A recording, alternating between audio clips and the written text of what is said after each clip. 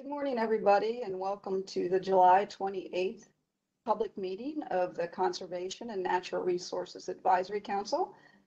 Appreciate you all joining us today and, uh, you know, I think uh, we've done this, I don't know how many times now, but always have glitches uh, to be able to get this thing started. So thank you for your patience uh, with us struggling to get uh, everything uh, up on the screen for you. Apologize if you're seeing um, things pop onto my screen, but uh, the good news is perhaps we'll be back in person uh, for a September meeting. Uh, my name is Gretchen Leslie, and I am the senior advisor here at DCNR, and I'm the liaison to the Conservation and Natural Resources Advisory Council. Um, just a few housekeeping items up front before I do turn it over to our chairperson, Geraldine Singer. Um, I want to remind everybody that um, audience members are muted uh, we do have a few speakers today who we will unmute to give public comment. Uh, council members, though, however, are free to turn on their cameras and their microphones to talk at any time uh, and ask questions of our um, uh, speakers today or of each other. Uh, certainly, that is all welcome. That dialogue is welcome. Uh, and the audience is muted, as I said, and we will unmute those audience members who have asked to provide public comment. Uh, just a reminder that this session is being recorded for, for training and record keeping pur purposes. So uh, by participating in this, you are consenting to the recording uh, and the retention and use of this uh, session.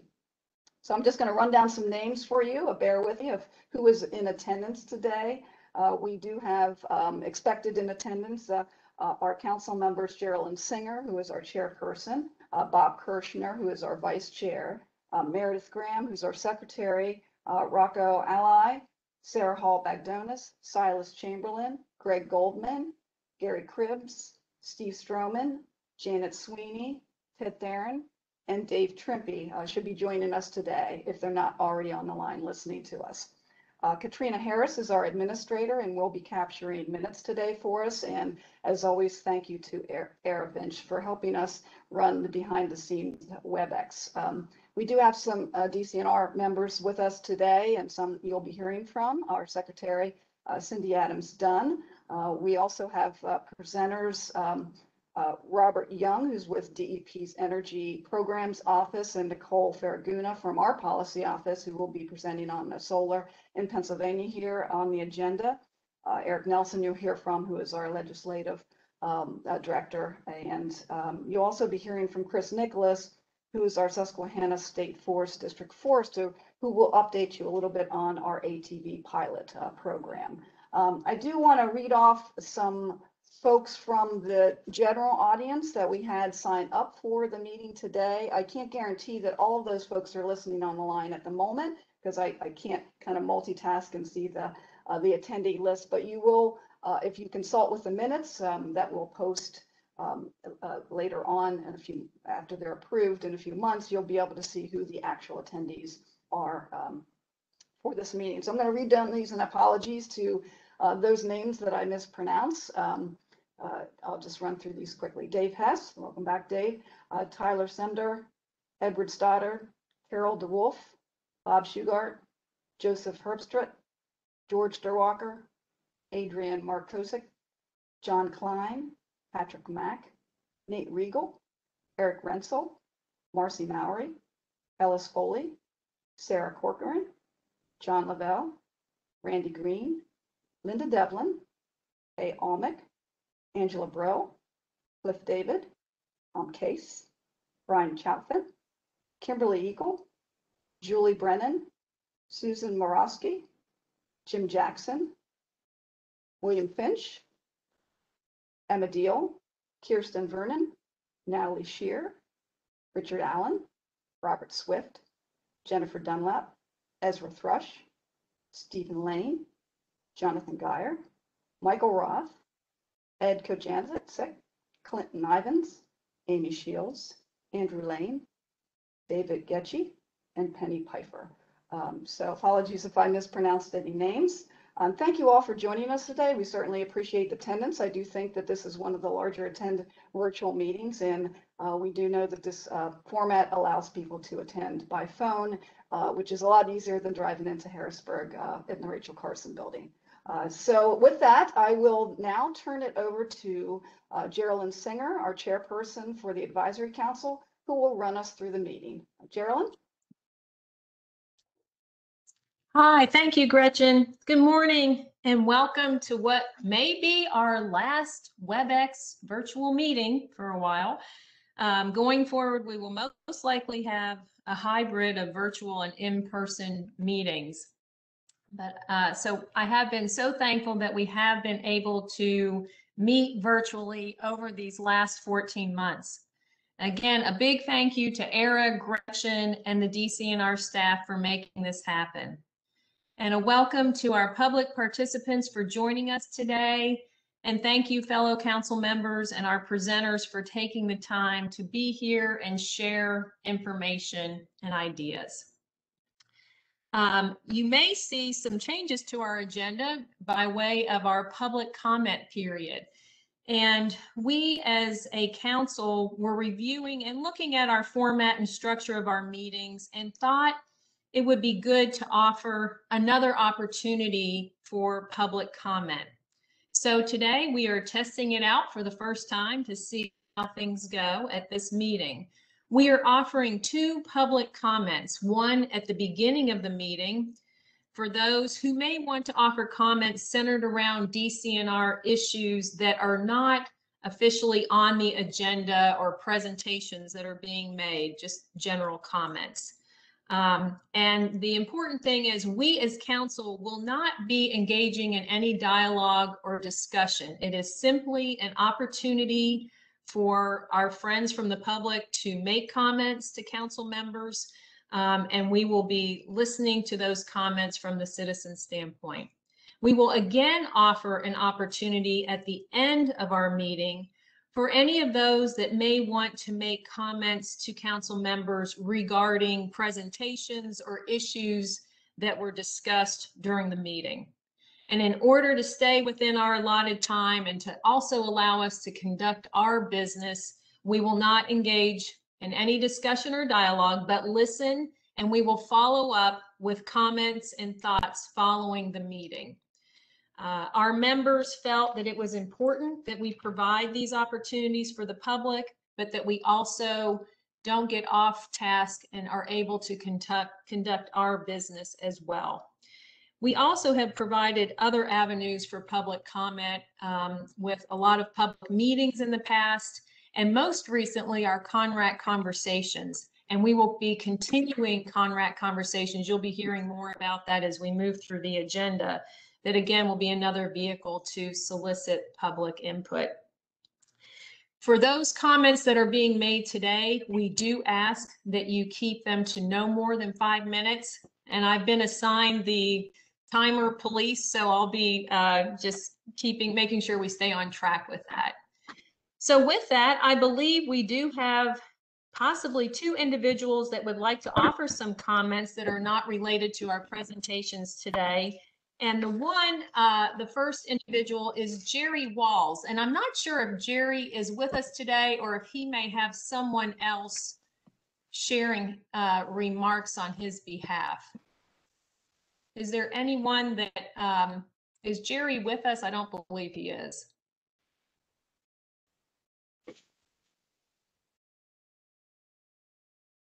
Okay. And I don't know if George um, Durwalker is, Watcher is possibly presenting for him. And if I hear nothing, I'll just assume that we do not have, have either one of them with us this morning. Okay. All right. So our second individual uh, is Stephen Lane, and he is from Downingtown. Stephen?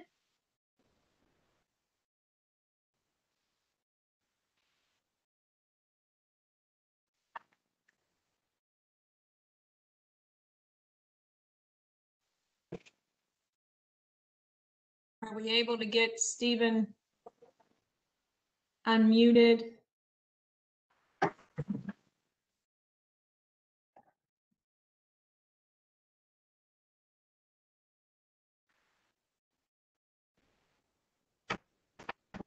I think I saw him listed as a participant.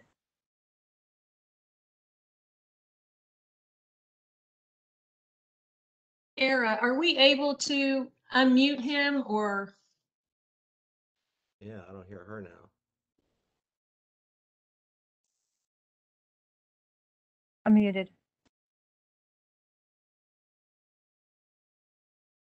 he is unmuted?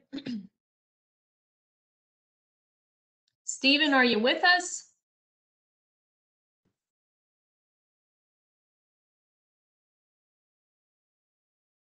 I'm not sure from a, Hello?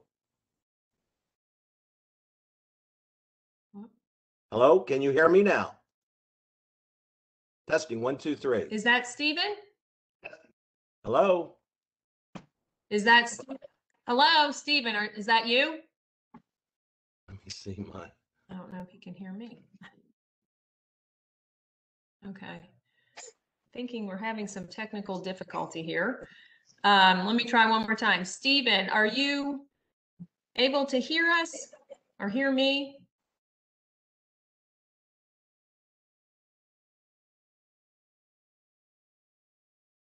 All right, well, I I think, think, gentlemen, I think um, he can't hear us. We can hear him, but for some reason, he can't hear us telling um, him that we can hear him. Uh, The joys of WebEx. okay. Okay, Uh, So, yeah, so um, maybe, uh, hmm, uh, so if we can put in chat uh, that to Stephen so he can see that, that we can, we can hear him. Um, But maybe we can circle back with him at the end of the um, meeting in the public comment period then. okay. just see.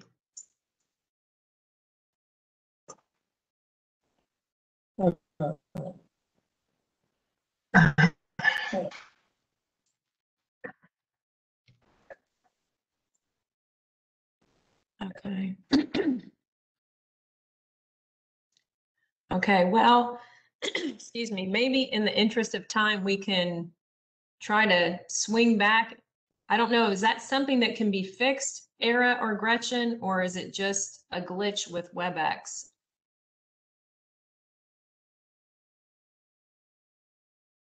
It's on him. We can hear him just fine. It's his end. Okay.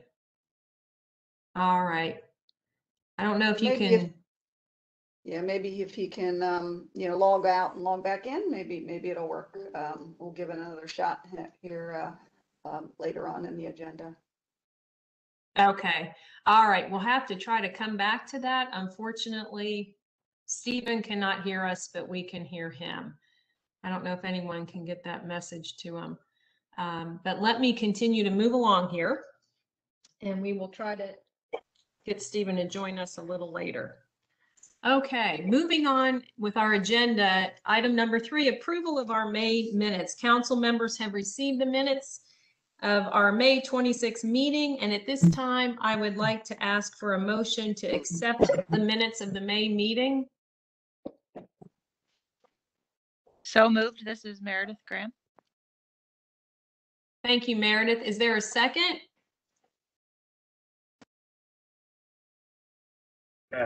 Greg Goldman. Thank you, Greg. And is there anyone opposed? Okay, hearing none, our minutes are approved. Thank you very much. Um, Item number four, our council report. I'm actually going to defer and cover that under our council business and work groups, because I think I would be repeating a lot of the stuff that we are doing, so I'll hold off until then. And at this point, I would like to turn things over to Secretary Dunn for her comments and thank her for joining us today and belated happy birthday wishes. We understand you had a birthday last week, so hope it was a great one. And thank you so much for joining us this morning. Thanks, Geraldine. You're rubbing it in because I think your, your number, in fact, I know your number is smaller than mine. So, yes, I did have a good birthday. Thank you so much. And uh, when I came back in here, there were all kinds of goodies and uh, treats to celebrate. Really appreciate it. Um, again, I just want to echo your thanks to uh, council and, um, you know, for your good work and, and really uh, staying on point through the COVID pandemic, staying focused and uh, for creating opportunities um, for input for the department because our business didn't slow down during the pandemic. Um, in fact, most of our workforce was doing what they always do out in the front line in parks and forests.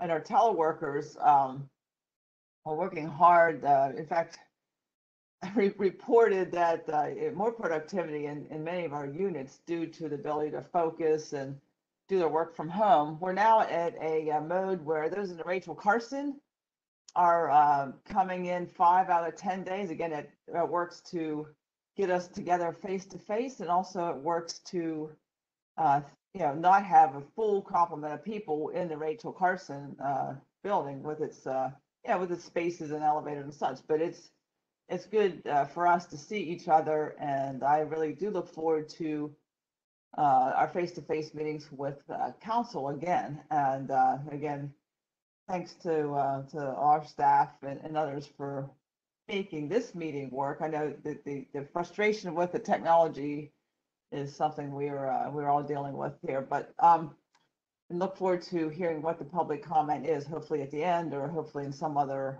in, in some other manner. Just a little bit about the summer season. It's uh, you know the the core summer season in our state parks is about two thirds done. The two of the three big holiday weekends are behind us. Uh, visitation is very high. Uh, we've had capacity closures, meaning you know parks fill up and the gates have to close. At the uh, typical Eastern PA parks, um, high visitation across the system, and uh, and forestry high camping numbers. Again, outdoor rec remains.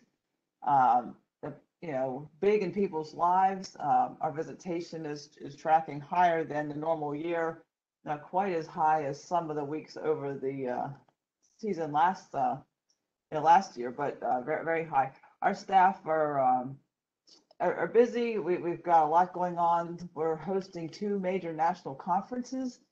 The Association of State Park Directors, uh, all the state park directors from across the nation will be coming in to Western PA in, uh, in September. And the uh, foresters from across the United States will be coming into Pennsylvania and the Pittsburgh area. Also in September, our state liaison officers from across the country are coming into Pennsylvania uh, later that month. So we, we're um, on the spotlight um, this fall, and it's all happening in September and October due to um, delay from, you know, last year's, uh, you know, travel restrictions on, on due to COVID. So um, staff are, are working very hard. We, we are seeing uh, staff stress and we're, uh, as a leadership team, we're working on uh, that issue, trying to get, co- cover the public demands, cover our uh, institutional demands, and uh, really keep, uh, you know, keep the productivity moving.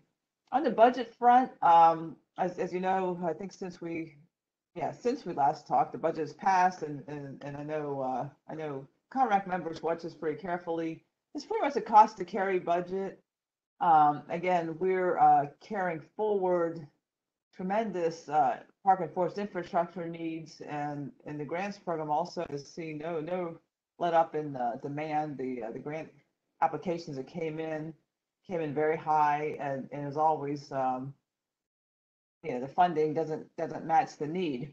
Um, as you know, and, and Eric uh, Nelson, our LEDS director, will probably be covering, uh, there's been discussions, uh, Senate Bill 525, sponsored by Senator Gordner and Senator Mensch, is floating around, which would give a boost um, to Environmental Stewardship Fund to help with uh, park and forest infrastructure and, and grants and land conservation, all these uh, all these areas.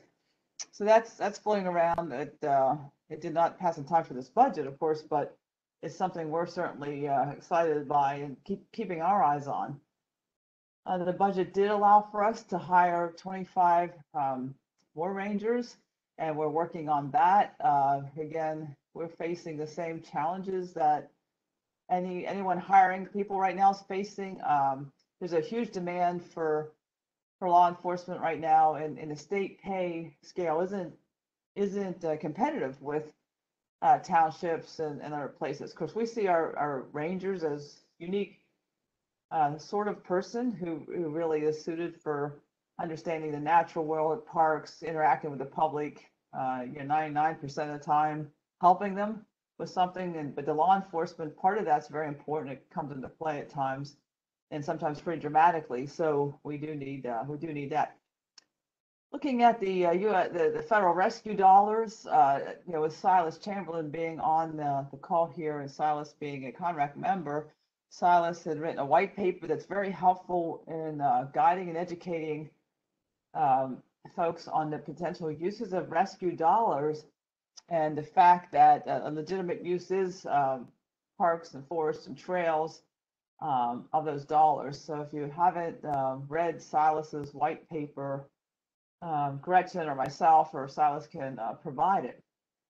Last week we had, uh, switching to a different subject, last week we had a, uh, a Supreme Court case um, came, um, you know, came, came out, was decided, uh, Supreme Court Pennsylvania issued uh, four to three decision, and it was about the use of oil and gas lease fund dollars. And essentially what it said, if you, if you think about the, uh, the 2012 case, uh, it talked about some of the oil and gas lease funds being part of the corpus of the trust, the royalty dollars, the, the money that actually comes from gas leaving the public lands that was part of the public trust. This finding um, by the Supreme Court is, uh, is, says that the bonus rents, fines, all the funds coming from gas on the public lands belongs to the corpus of, the trust and the, you know, the trust. And it also talks about, um, that the trust, that this money needs to be used intergenerationally, as long-term funding, in, in- other words, used for, um, the, uh, you know, the, the Article One, Section twenty-seven, purposes of long-term uh, benefit to future generations. So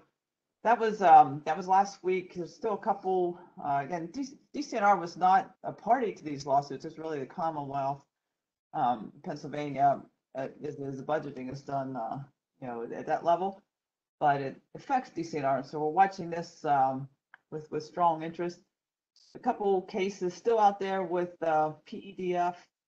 Um, It's the, the question of using uh, the, the oil and gas lease fund for the management of the uh, public trust responsibilities DCNR holds, the management of the public lands, the, the full mission of the agency, which is a long-term sustainability mission and, and use of that for operating type expenses of uh, DCNR. So that's still still out there. There's another one uh, out there about the, um, uh, I think, I think council asked for the update on PEDF. There's still the other one out there about the forest management plan of 2016.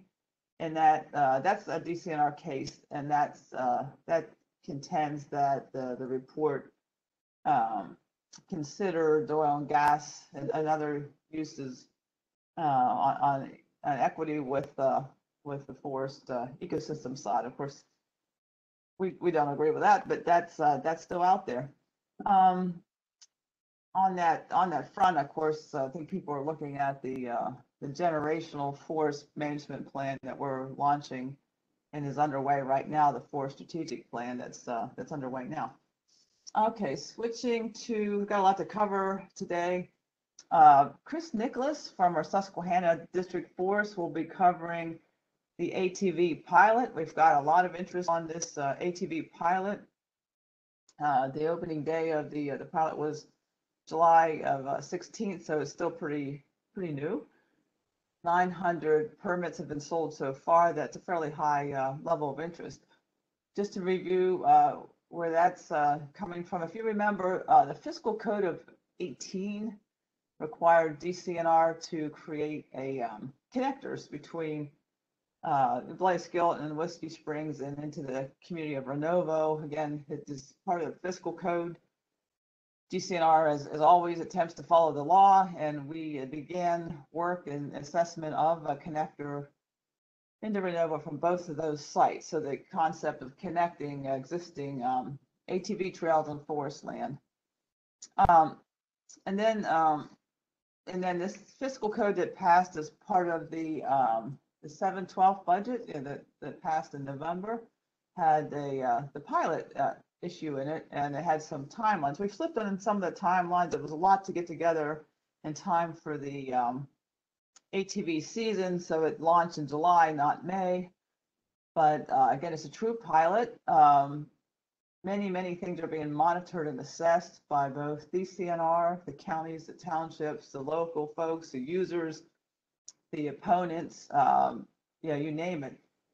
But on the DCNR side, you'll learn from Chris Nicholas about um, our approach to monitoring, both, um, you know, all the pillars of our monitoring work, sustainability, the environmental issues, social and economic issues. So we'll be monitoring all of that essentially, um, if you really boil it down for us, um, it opens up 11 miles of uh, forest road, what was previously off limits to ATVs. As you know, our strategy on ATVs has been twofold. Number one, grants to uh, counties and authorities to create ATV parks like AOAA. It's been highly successful. I see Pat Max on the uh, on the call and also Rock Run in Cambria County. These are destination uh, ATV parks, and we use a grants program for that, along with DEP funding for abandoned mine land. These are always on the abandoned mine land areas.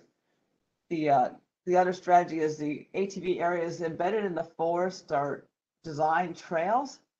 And I'm uh, pleased to say I don't think we've ever had a fatality on the ATV trail that are designed and in the state forest, and that you know safety is a big concern the pilot's essentially more about transportation and people want to travel, go from place to place, go into the communities.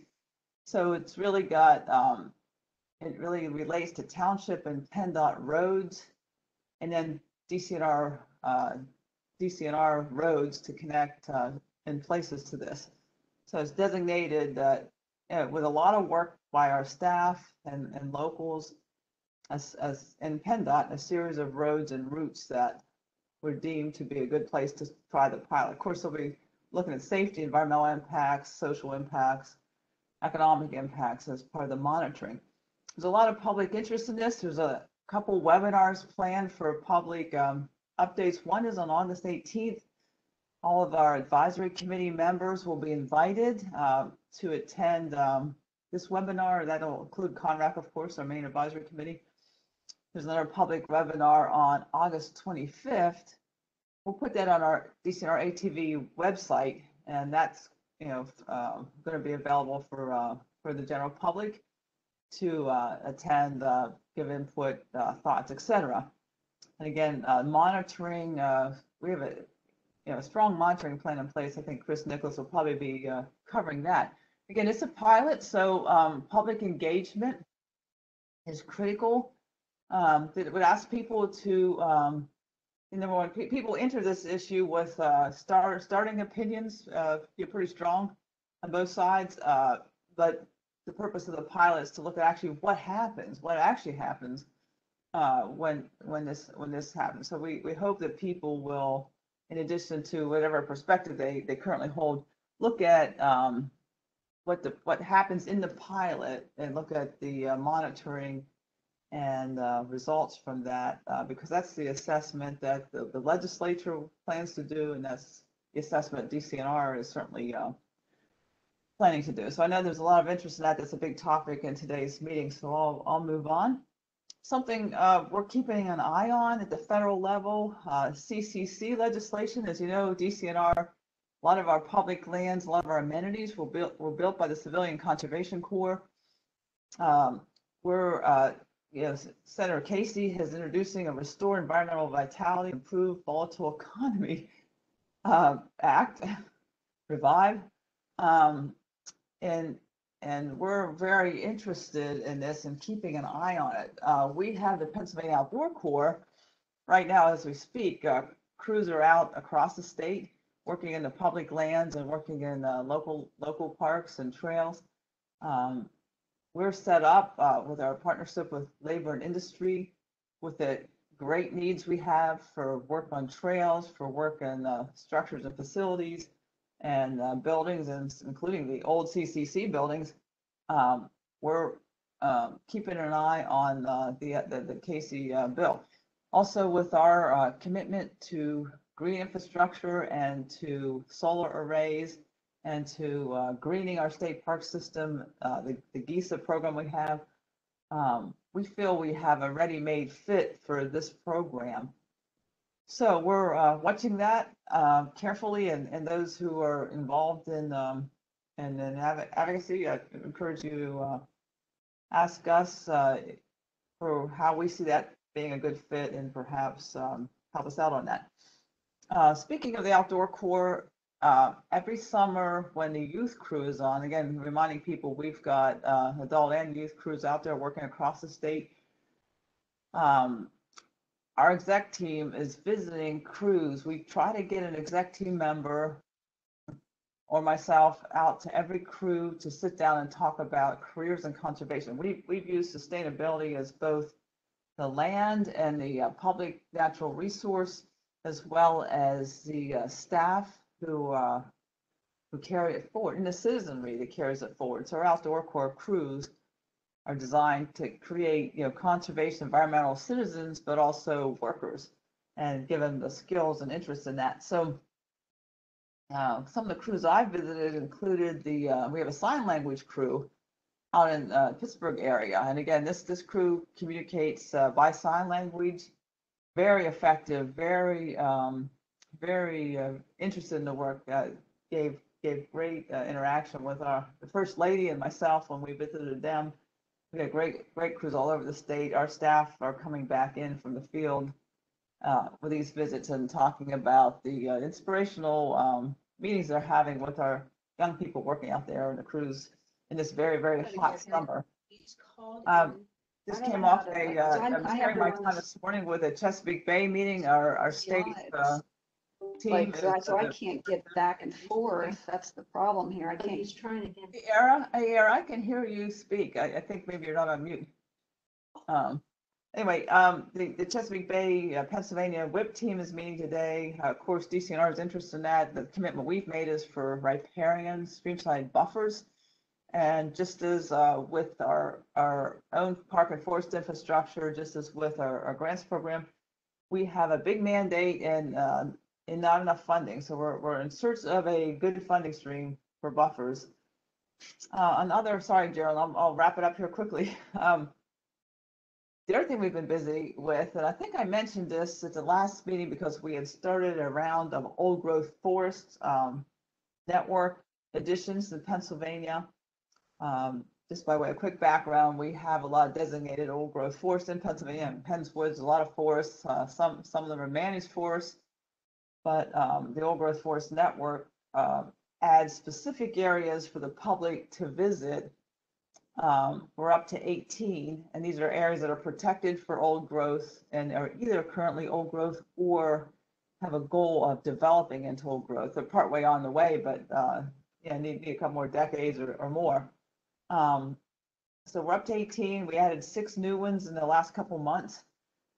Uh, our staff told the old growth network teams uh, John, John Norbeck did, in fact, uh, that we want to have one in every county. We see this as a good equity move because I think it's appropriate that uh, citizens of Pennsylvania, all 13 million, could have access to what Pennsylvania looked like um, when it was completely forested by old growth. So we're setting a goal, saying it publicly now, to be have to have 67 counties in the old growth forest network, and we'll have to work with that organization to make that happen. That's you know they really control that, but we we propose places.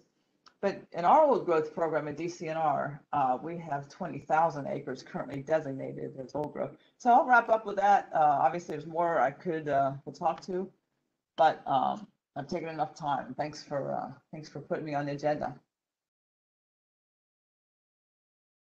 Thank you, Cindy. Appreciate your comments. Appreciate you joining us. Let me just open it up. Does anyone have any questions for the secretary at this time? Dave Trempe. Hi, Cindy, thanks for your Hi, report. Dave. Go right Just wondered if, if you could just give a brief, uh, what's going on with the timber sale market? I it's picked up quite a bit. I'm just wondering where DCNR is with the putting out timber sales. Hey, hey, Dave, I'm gonna, I asked uh, John Norbeck to sit in here in my office with me. He got, he got kicked out of WebEx, so I'm, I'm gonna turn to him momentarily. And uh, then I'll come right back. Uh, is it? Yeah. It- it- Yeah, John uh, reports it's on the upswing. Uh, What, uh, what are we seeing in terms of the, the market? Is it, I know the thing we we're struggling with, the, uh, is- is market issues, uh, and there had been, it had been the export issue, but is it, is it uh, up across the spectrum or only certain types? That's true. yeah, we're seeing, as, as we know, the uh, cherry market had, had suffered for a while. Dave, um, we'll send you a- an email with uh, the, the latest. Um, But anyways, it is, it is kicking back up. It was most, um, most recently in front of John and me in terms of our predictions on the augmentations in our budget, where we were able to predict it'll be up a bit. Thank you. Thank you, Dave. Okay. Any other questions for the secretary? Um, Gerald, Geraldine, this is uh, Rocco Ally. Um, this is not a question, but um, uh, Cindy, uh, uh, just so that you're kind of aware, the Fish Commission had a meeting Monday. Um, there's a proposed rulemaking that will um, put trout season the first Saturday of April. Um, perhaps it's proposed now, but I'm pretty sure it's going to become final um, for 2022. And I think that's important that you and your staff at our, at the cooperative lakes know. Um, and if you, if you think it's necessary, um, perhaps you could contact uh, Tim Schaeffer and try to get uh, him on our agenda if, if it meets with council approval to give an update on uh, how cooperative DCNR and the Fish Commission have been together. Thanks, Rocco. Yeah, I would, I yeah, we talk frequently to Tim. I mean, uh, like weekly. And it's, I've never seen the collaboration between Fish and Boat and the DCNR uh, be stronger. And, um, and, you know, for everything from the riparian forest buffers to, uh, the recreational opportunities, fishing, the learn to fish programs. Um, so yeah, absolutely. Uh, uh, John's, again, he's sitting here in the office, he's nodding. He and Tim have been talking about the opener, so we- we're on board and, uh, and very supportive. Um, it did remind me, uh, you mentioning fish and boat, we, we do have a new governor sportsman advisor. Derek Eberly started, um, last week.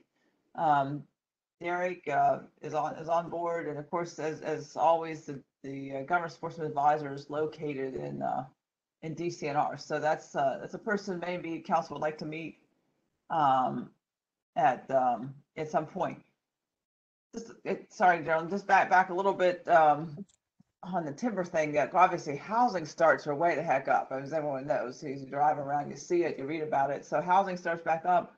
Um, this is, you know, those prices of materials are, are dampening that a bit. You know, prices of uh, timber, everyone's complaining about that. That that's high. And there's uh, tariffs on the Canadian timber. Okay, yeah, yeah, that may keep the prices high. Yeah, so there's, there's those issues that are cross currents in the timber market. Okay, thank you. Any other questions for the secretary?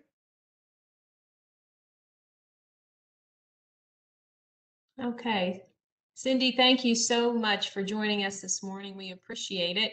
Today is not a good WebEx day for us, that's for sure. I know we have a, another member, council member that's been trying to get on and it's just, he's just having difficulty. So we apologize for all of this. Some of this is just not under our control to to uh, make better, unfortunately. So, but with that, the one good thing is that I was able to stomp on a number of spotted lanternfly nymphs this morning while out on my deck. I got a, a good eight or ten of them, so they're coming in numbers. I have I'm surprised at how many I'm seeing. But, uh, but anyway, with that, if we could move on to our DCNR department report, and I'm going to turn it back over to Gretchen Leslie. Gretchen? Thanks, Geraldine. Uh, Apologies, everybody, for the difficulties we're having today. You think after we've done this six or seven times, we'd uh, get the swing of things. So I will be happy when we are back in the Rachel Carson building. Um, You know, uh, Era had to step away, so she turned over her controls to me, which is a dangerous thing. Um, So uh, that's why you heard us kind of kibitzing a little bit there about getting people in. So um, just really quickly before um, I do turn it uh, over to uh, Chris Nicholas to, to talk about the ATV pilot.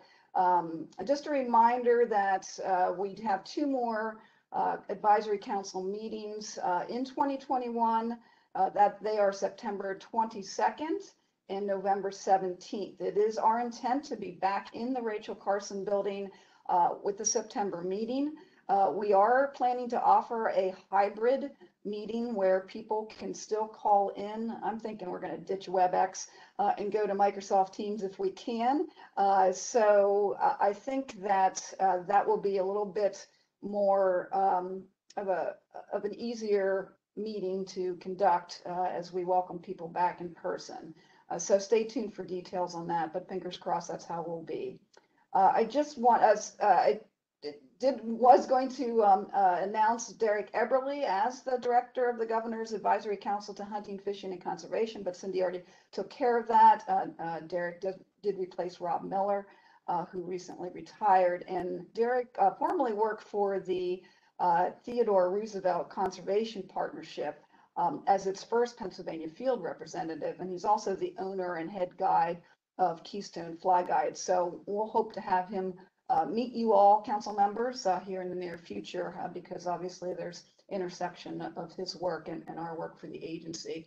Um, so uh, I'm, one more item I just thought I would mention because I, I found this bit of news um, recently about our Keystone Tree Fund. You have heard me mention uh, this before, which is a check off, a $3 check off on your vehicle registration.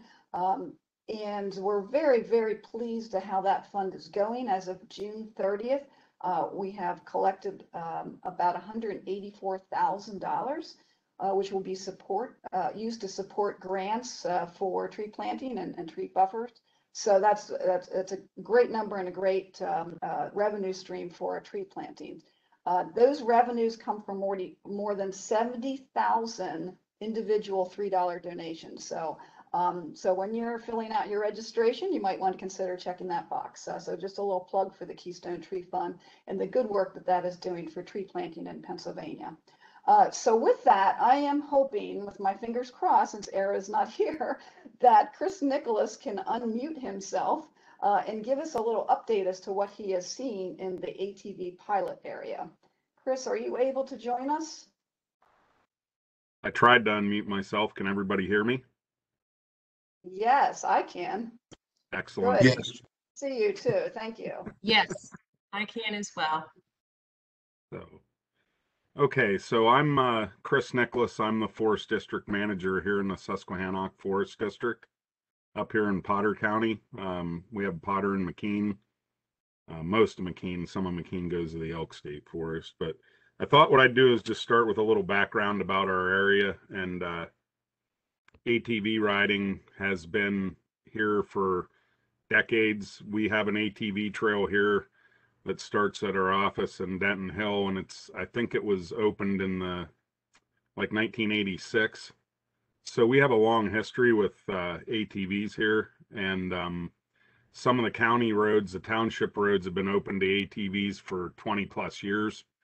Um, so we have a lot of dirt township roads especially um, north of Route 6 and actually south of Route 6 intermingled with the state forest land also. So there's um, the backbone for some of a an expanded trail system um, to access larger um, destination type riding is available here where it might not be in some other places. Um, we're just unique in that um, you know, the the the roads and trails that are here almost connect already, and there was very minimal amounts of connectivity that were needed to to make uh, the connections that um, we identified as being uh, important or potential.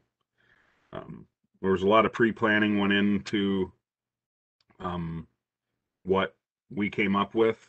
Um, you know, we looked at a couple of priorities. We had basically three main priorities was uh, connecting our trail system here. We have 45 miles right here that's open to anybody that has a registration and insurance and a helmet can come and ride here. Um, connecting that to other legal riding opportunities, which primarily were township roads that are already open.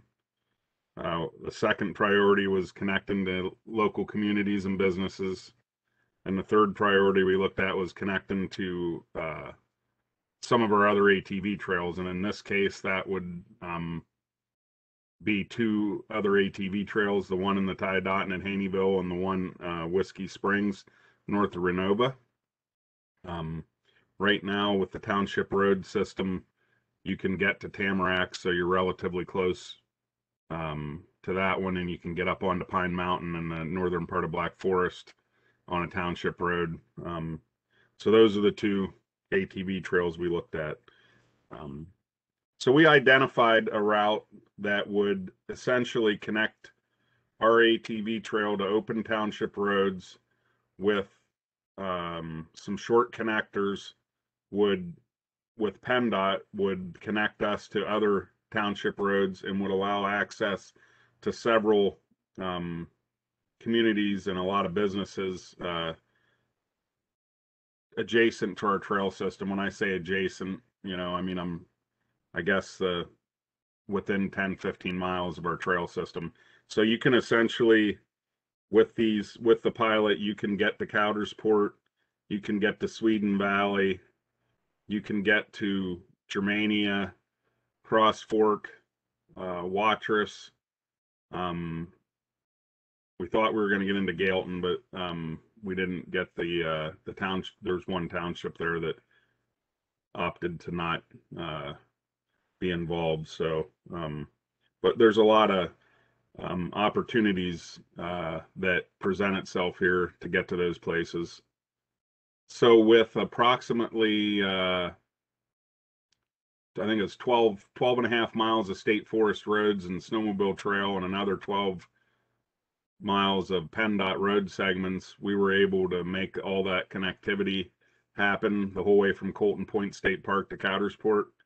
So I, I don't have the numbers right in front of me, but the primary um, pilot, the route the, that we um, identified is around a little over 120 miles. And then there's other township roads that are open that connect into it. So the total riding opportunities, um, including our trail system in the pilot, is over 250 miles.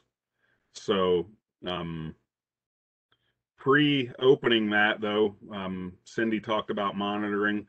So several things that are in the works there is we set up some trail counters um, along some of the roads, along some of the uh, non-motorized trails that are adjacent to the area.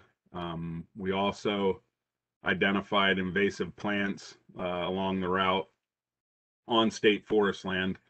Um, so a lot of these township roads actually uh, south of Route 6 go through state forest land. So if it was a township road that went through state forest, we did a uh, inventory of a invasive plants along the route. We also identified um, any road trails that already existed where there was illegal riding happening. Um, what we found was there were virtually none of those, but what we did find was a lot of places where potentially people could go. So we identified those and we're going to monitor those periodically and see if there's any with uh, the opening of the, the route, if there's any additional use of those potential um, illegal trails.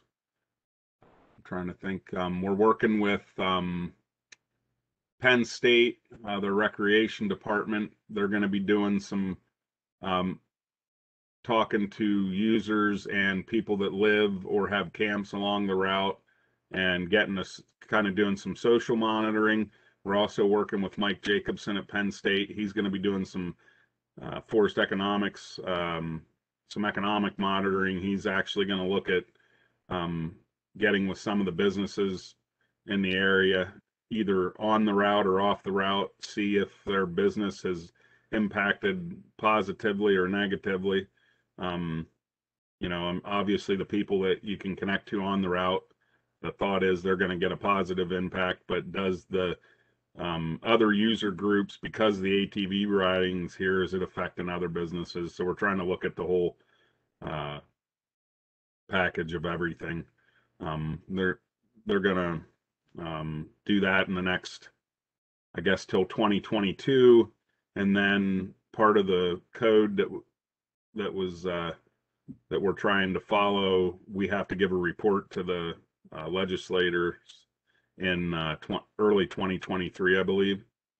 So um, we did all that. We got a permit system up. The um, you actually have to buy a tag to be legal on the PennDOT and state forest connector roads.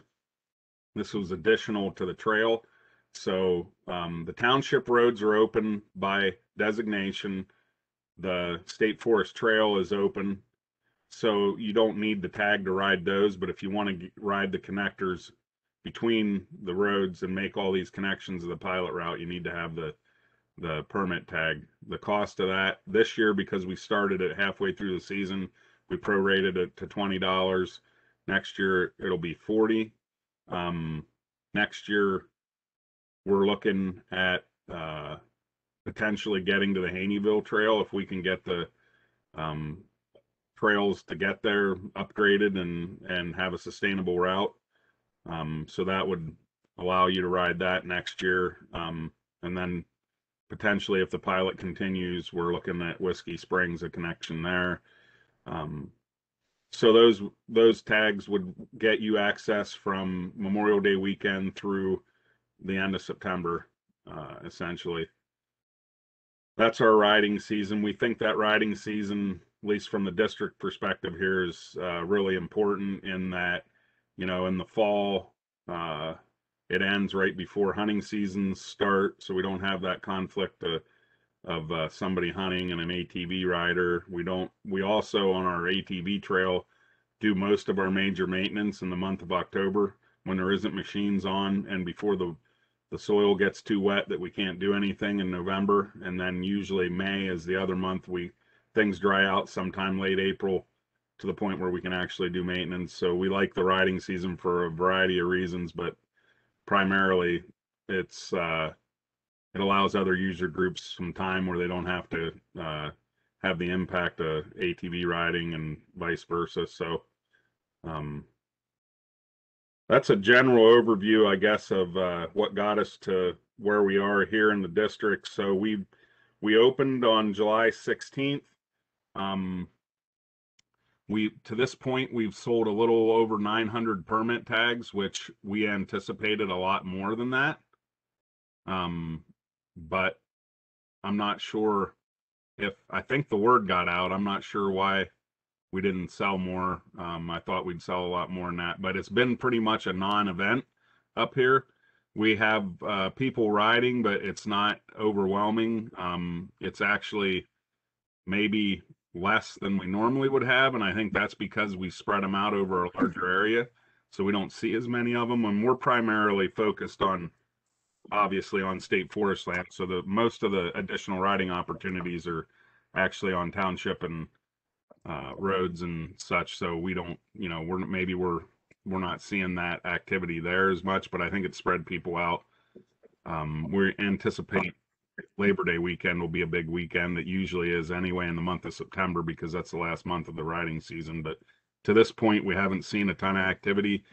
We've only issued one citation since it started, and that person, I'm not sure had any intentions of ever riding a pilot route. He was a local fellow that was on a township road that happened to go through state forest land, and he didn't have any registration or insurance or anything. So um, he wouldn't have been caught though be- without us working a little extra patrol hours for the pilot. So as far as the people on the pilot route that we've been in contact with, everybody's had their permits and has been uh, being respectful and behaving, and uh, we haven't had any any major issues there. Um,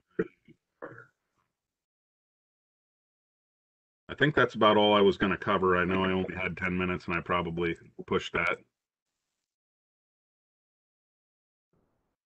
Well, thank you, Chris. And let me just open it up to any questions from our council members for Chris or Gretchen after her presentation as well. Uh, Gretchen, this is Rocco Ally. Chris, um, I'd like to compliment you on the work you've done. I think this is a great step forward to giving more attention to the uh, motorized recreational needs that we have. Thank you. Chris, this is uh, it's Bob Kirschner. Uh, I just had a quick question about the permit system. Uh, you referred to needing a permit for some of the connectors. Are those all state forest road connectors, or does that also include some of the township connectors? I, I guess it does. Um, no, the township connectors are actually designated open, so you don't really need the the permit for that. What it gets you is access on state forest roads that are in the connector and also uh, state forest trails that are specifically um, designated as part of this connector and pilot program. It also gets you the PennDOT segments that are open, which will be more going forward if we uh, move, you know, to connect to the other trails. And we're working with the county and we, we're trying to, uh, you know, get the stakeholders together and work with them and get their input and get them to understand what our, you know, objectives are with uh, the pilot program and, and work with them. And I think we're doing a pretty good job of that too. Um, have a pretty good relationship with everybody locally here. Well, th- thank you for that answer, and I uh, echo Rocco's sentiment. Uh, great job, and and glad to see it, and good luck. Well, not everybody's happy about it. I will say that we've taken uh, several complaints from local residents and um, people along the pilot route, but all in all, um, I think it's it's more positive than negative from local perspective here. Thank you. Okay. Any other questions for Chris or Gretchen? Okay, thank you so much, Chris, for joining us today. We appreciate your time. Yep, no problem. Thank you. Have you. a good day. Yep, you too. I'm gonna uh, sign off here, but if anybody wants to get a hold of me, um, my email is just cnicholas at pa.gov or give us a call here at the district office. Be glad to explain more or discuss anything you want to talk about. Thank you. Thank you, Chris. Take care. Okay, next on our agenda is our legislative report from Eric Nelson, Director of Legislative Affairs. Hi, Eric. How are you? Hey, good. How are you? Can everybody hear me? Good. Everybody hears? I think so. All right. I just wanted to, I'll give a quick update um, on a few. We have a, a slew of uh, upcoming events um, that we're participating in around the state. I'll just run through those real quick. Um, just say that on August 2nd, uh, we are going to be participating in a tour with the House Democratic Policy Committee at Presque Isle. Uh, Secretary Dunn and Deputy Secretary John Norbeck will be in attendance for that event. That's on August 2nd. Um, on August 10th, uh, we are participating in a Senate Policy Committee roundtable discussion in Schuylkill County. Uh, Tom Ford uh, will be in attendance uh, talking about uh, pollution and funding opportunities in uh, the Schuylkill River um, for cleanup purposes. So that's on August 10th. Um, we're also participating in a elk, elk tour um, on September 16th with the Game Commission, uh, the Game and Fish Committee, and the House Tourism Committee. Uh, we're doing that on September 16th in Elk County. That's the elk tour. I'm sure everybody's familiar with. And then the next day, we're actually doing a tour of Kinzua State Park. Uh, so that's um, with both Game and Fish and the House Tourism Committees. That's September 16th and September 17th. And we're currently working on gathering uh, information for a tour of Ohiopyle for the, both of those committees as well, and the Pennsylvania Grand Canyon for the Senate Environmental Resources Committee. Um, I think details are still being ironed out for those events. So those are just a few things happening. It's been busy. Um, and I'll just mention, as the secretary uh, noted earlier on the call, we are monitoring uh, Senate Bill 525, which we which we support, and we're just um, we're trying to get everyone's attention for that for that bill. Um, it's very important to us. And also, I'll just mention that Senator Regan um, recently circulated a co-sponsorship memo um, regarding OHMs and uh, their use on state land. It would open up our state land for OHM purposes. Uh, we do have concerns with that with that bill. Uh, Representative Allett has a companion piece in the House, uh, which we have concerns about. So we'll just um, we're going to continue having discussions on on those two pieces of legislation. So that's that's all I wanted to mention. Uh, Nate, do you have anything that you wanted to to add? No, I think that pretty much covers it. Thanks. Thank you. Any questions?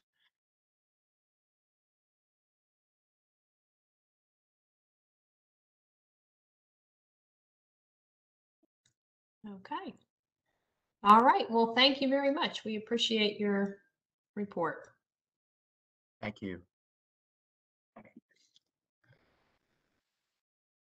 Okay, we will move along to our council business. Um, and basically, council prepared and recently sent two letters.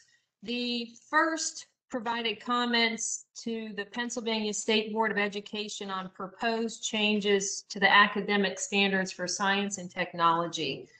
CONRAC supports separate standards for science and technology and for environment and ecology. That was one letter that went out. Our second one was with regards to the American Rescue Plan funding. Um, was urging Governor Wolf and the General Assembly to allocate American Rescue Fund funding for the infrastructure of state parks and state forests, which is in excess of $1 billion. As we all know, we've been working hard with our infrastructure concerns there. So both of these letters were finalized by email. Uh, they were not talked about at a public meeting just due to the time sensitivity and the public comment deadlines that were involved. So what we do need to do is ratify these letters. They were all approved via email and sent out, and they are available on our CONRAC website if anyone would like to see them in further detail. But at this point, I would like to ask for a motion to ratify those two letters, if someone could do that. Gerald, so moved. Rocco Ally. Thank, thank you, Rocco. Is there a second to that? Uh, Greg Goldman. Thank you, Greg. And is there any opposition? Anyone opposed? Okay, thank you. And like I said, both of those letters did go out recently uh, and are available on our, our website if anyone is interested in seeing them firsthand.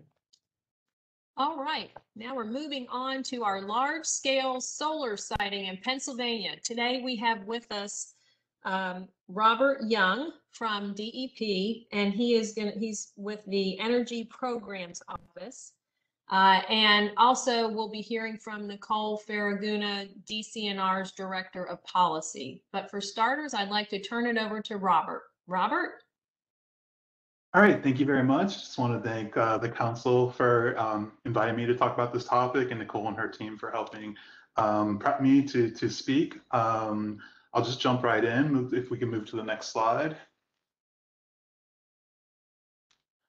Um, kind of what I want to leave you with today, just, just a couple high level topics. I just kind of want to provide a baseline um, and kind of shared understanding of kind of grid scale, or you might hear it called utility scale. Those terms are used interchangeably, but just um, kind of define the scope of these projects, uh, discuss some of the factors driving this development within the Commonwealth, uh, briefly explain how these projects are proposed and developed, um, show some maps with some kind of high level um, just showing where a lot of these projects are being proposed, and then um, kind of go into some of the the issues that are being identified in some of the resources, uh, DEP and some of the other state agencies are starting to develop to address this. This is definitely a quickly moving topic. Uh, feels like new new issues are being identified almost on a daily basis. So it's definitely something that's got a lot of attention, and um, we definitely want to coordinate efforts moving forward uh, with different state agencies and different stakeholders. So if we can move to the next slide.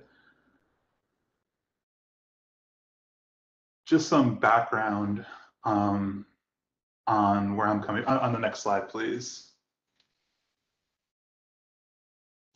Just, just um, you know, I was talked about in the introduction, I'm coming from the DEP Energy Programs Office. It, is a non-regulatory aspect of DEP uh, responsible for implementing clean energy programs, um, definitely with a focus around renewable energy and climate mitigation, climate change mitigation and adaptation.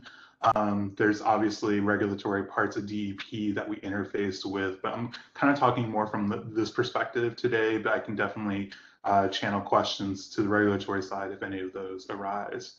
Uh, next slide. So just kind of starting off, uh, in 2018, uh, there was a solar future plan kind of commissioned by the state through our office that brought together a lot of stakeholders to, to kind of set a, a goal for solar adaptation across the state. Again, this is more of a, a policy, a goal document, not necessarily a mandate.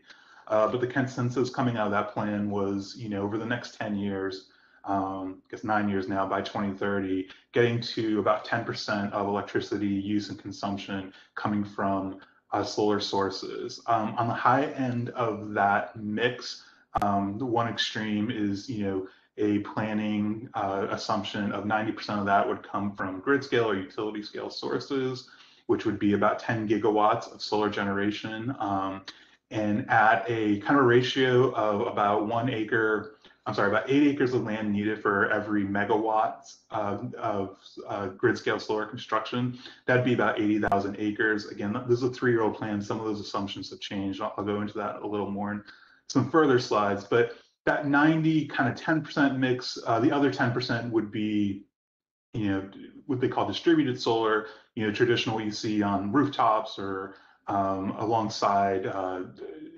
structures.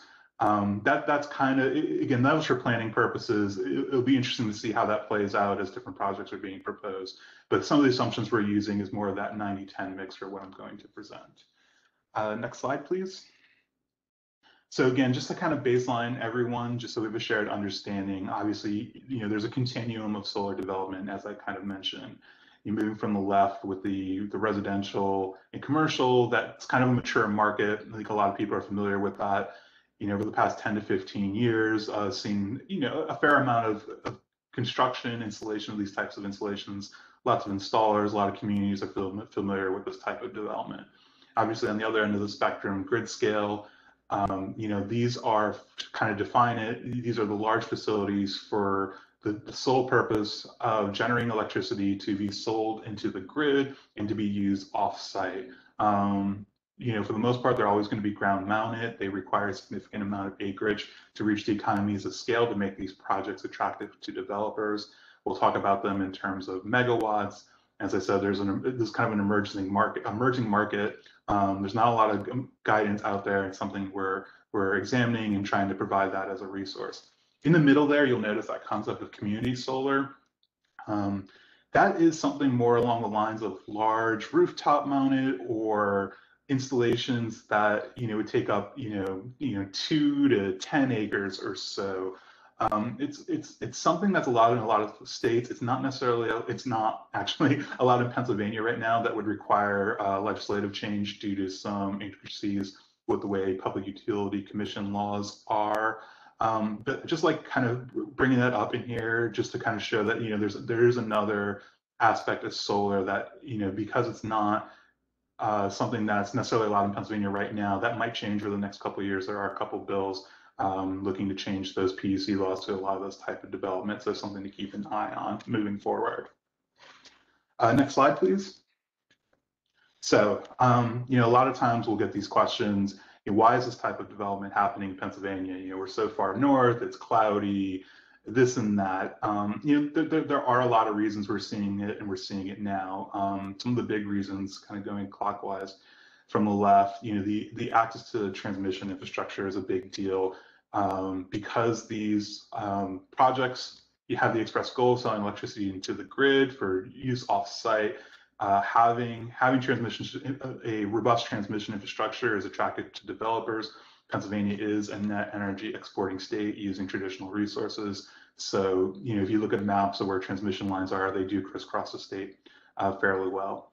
In terms of the technical advances, um, you know, these projects weren't being proposed if they weren't economically feasible. They're, the technology has uh, moved to a point now where at our latitude and with our sun coverage, you know, these panels will generate enough electricity over their lifetime to justify the cost. So that's not really a barrier like it was in the past.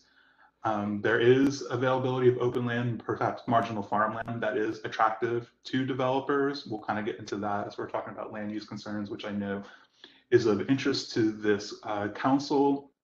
And then from the policy and regulatory requirements, you know, I already acknowledged the Solar Future Plan, which kind of a policy document. There was the governor's executive order to reduce carbon emissions in the state um, by, you know, by um, 26% by 2025 and 80% by 2050. Um, you know, again, those are goals. The only really regulatory requirement that ties up with this is what we hear called the Alternative Energy Portfolio Standard. In other states, they call them renewable energy credits. But that is a concept where um, the electric trans, uh, the distribution companies, your PPLs, your PECOs, um, you know, they have to have a, a certain percentage of their uh, of their electricity they sell come from alternative energy um, sources. And right now, the carve out for that is only 0.5% solar. That's that is um, kind of reached its max in 2021. That's really the only regulatory requirement present right now driving solar. Although there are bills looking to increase those percentages. Uh, moving to the next slide you're kind of moving into the development characteristics with these types of projects. It's really being driven by the relationships between the developers working with landowners.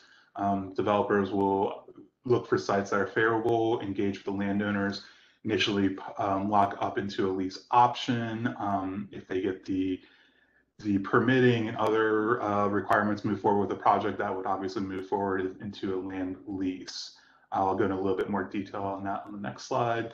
Um, you know, looking at some other characteristics of these types of projects, they will not, they do not require the additional subdivision of property of large tracts of land like some other construction projects.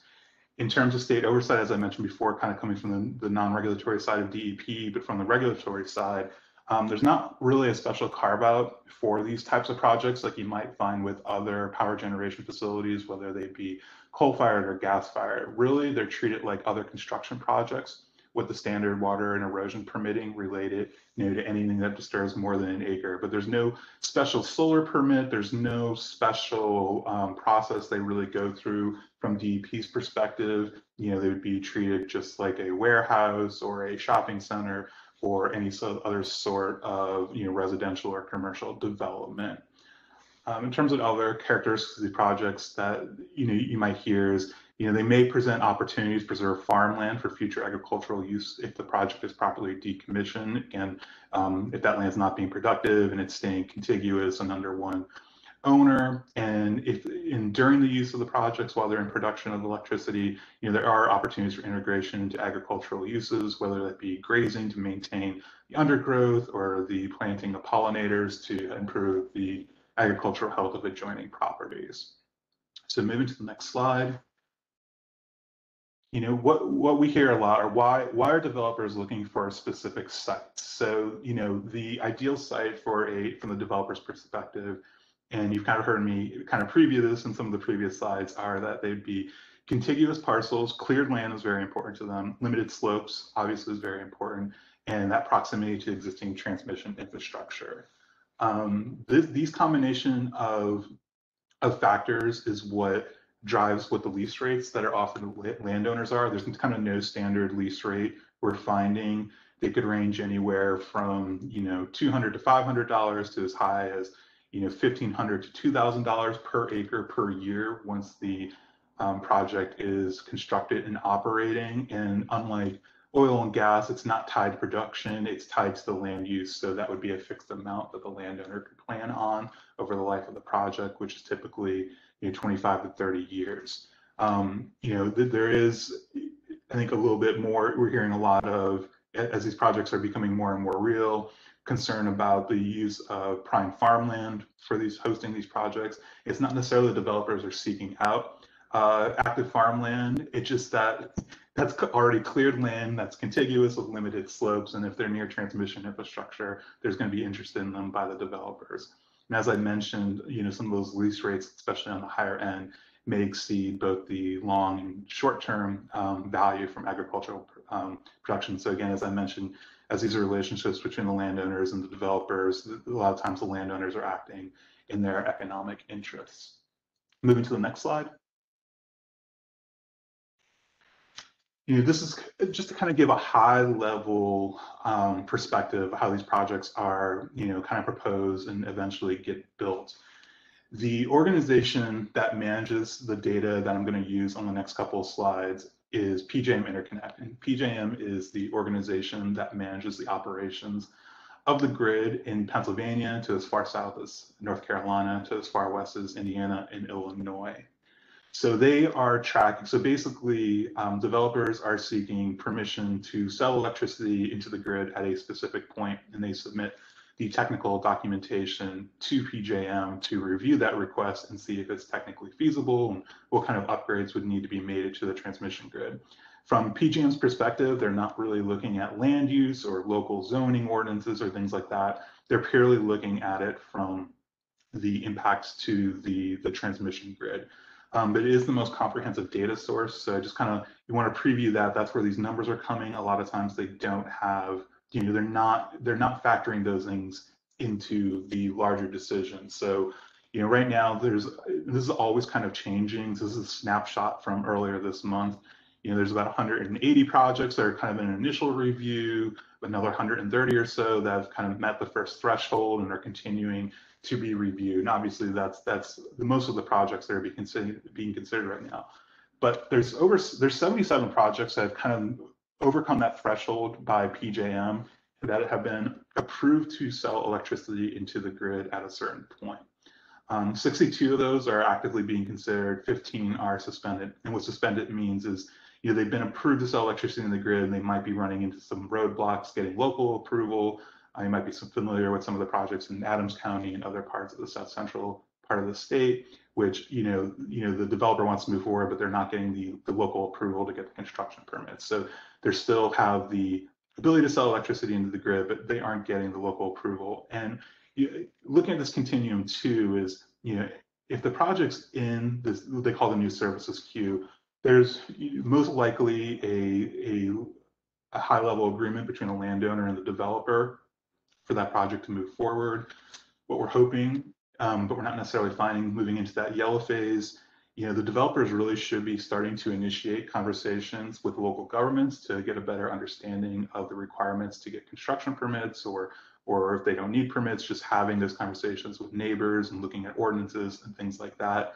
We're finding there's some developers doing a very good job with that initial outreach, others that are not. Actually, as they're moving into that first green phase, obviously, you know, if they want to start construction, those those those conversations definitely need to have have but as I said, you know, there's some there's some projects that you know cross that threshold from yellow into green, and that's the first time a municipality or a county might hear the project. So it's very um, it's very different across the different developers and what their priorities are and their their business models. So it's kind of all over the place. Um, there's again, there's not since this is more tracking from the organization that manages the grid perspective. It's it, it, it's there's kind of a disconnect with some of the, the, the information needed for local municipalities. And, you know, we're hoping to streamline that a little better and make the local governments a little bit more aware of these projects.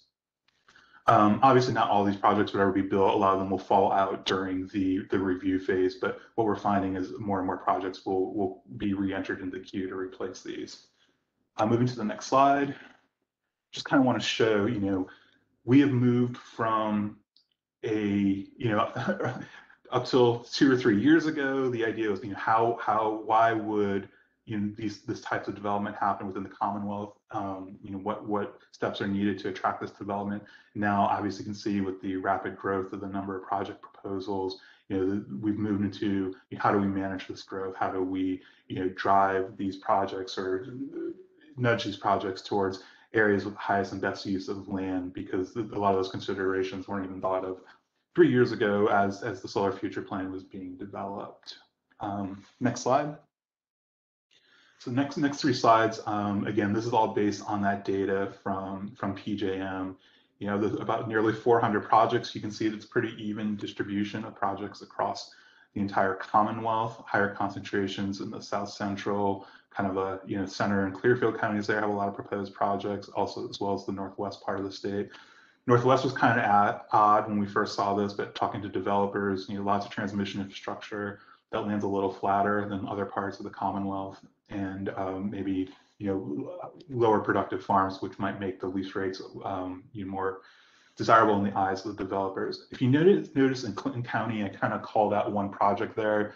Um, as I mentioned, the, the PJM new services queues kind of dynamic projects get added and subtracted all the time. There was a project in Clinton County that's gotten a lot of press that not that wasn't in the most recent. It was has a status of withdrawn in the most recent snapshot I did of the PJM new services queue, but we know there's been discussions with the county and different permits being sought.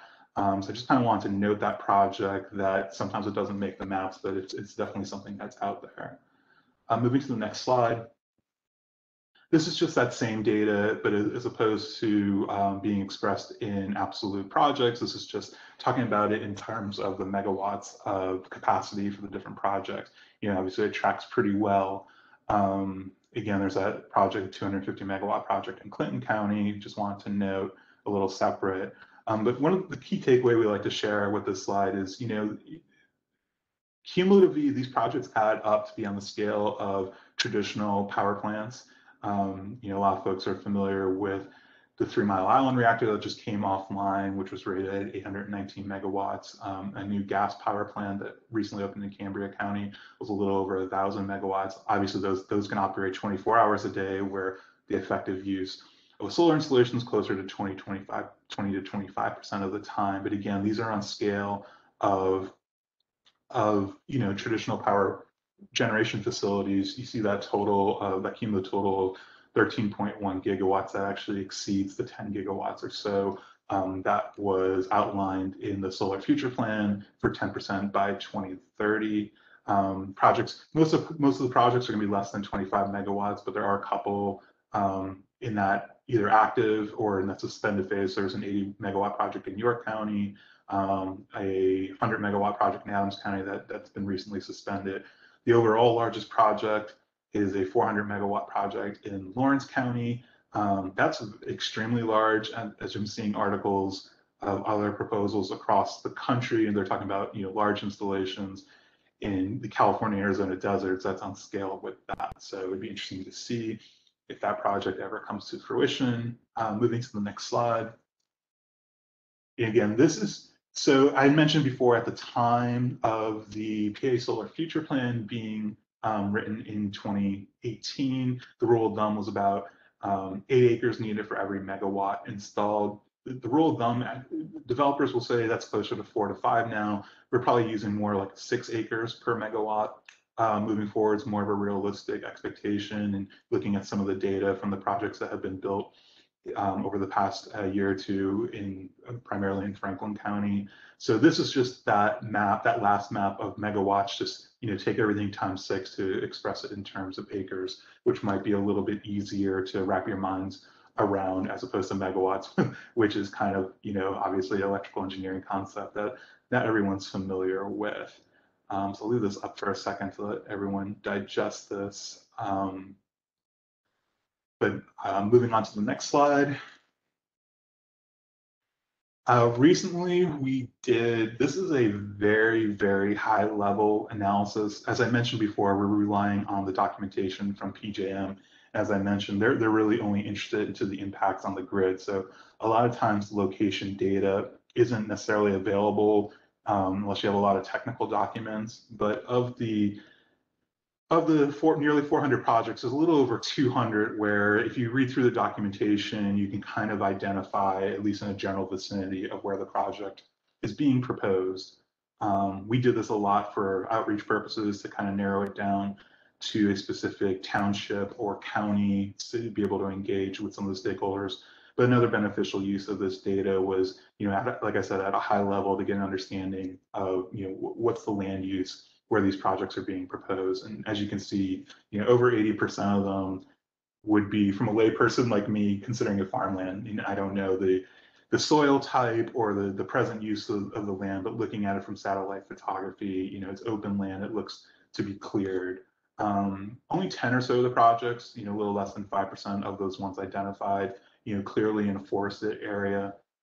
Um, there's about 33 and about 15% or so that might show some beneficial use on reclaimed lands, whether that be former mine lands, co-located on an existing power plant, whether it be on an ash basin or some other land at the power plant. Um, found one that looks like to be on a well field, one that actually might be on a roof. So this is relatively new. We're trying to get a better grasp on on kind of the land use impacts and where these projects being proposed. Um, but this is definitely something for further conversation. None, none of this information, to be clear, has necessarily been verified uh, with the developers or, or the municipalities or, or landowners. Uh, moving to the next slide. I won't spend a lot of time a lot of, on this, but just to kind of show, you know, where what is this land use in comparison to some other other types of land use? So that 80,000 acres, that kind of yellow yellow circle, these are all proportional and scaled. Um, but compared to farmland, whether it's uh, preserved farmland or farmland clean and green or forest, um, state parks and national forests.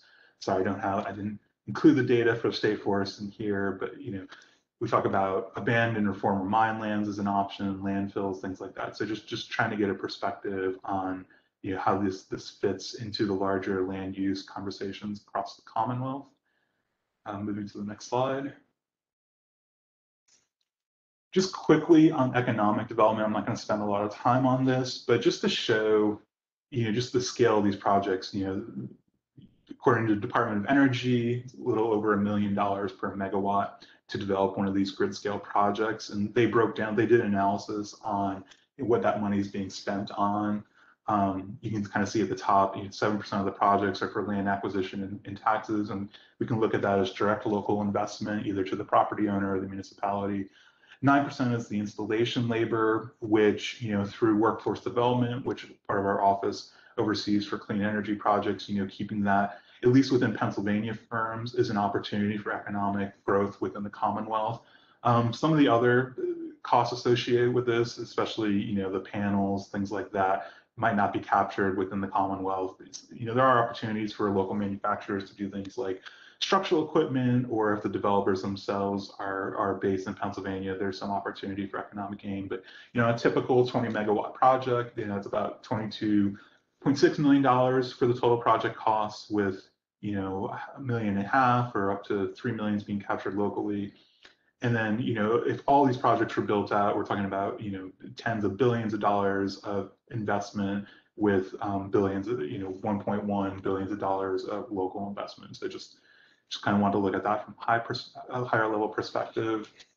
Next slide, please. You know, kind of wrapping up here, as I mentioned, this is a new topic, and there's there's definitely a lot of what you know what we don't know, we don't know, or things that definitely need additional research and attention paid to them. Obviously, you, know, as I mentioned before, guiding these developments to where they make the most sense, and definitely including conversations about farmland, forest preservation, um, you're working with staff from DCNR as well as the Department of Agriculture on an interagency working group to kind of come up with best practices, um, you know, involving other parts of DEP for former mine lands and other brownfields, hopefully guide development to, to parcels where there might be a higher and better use for it.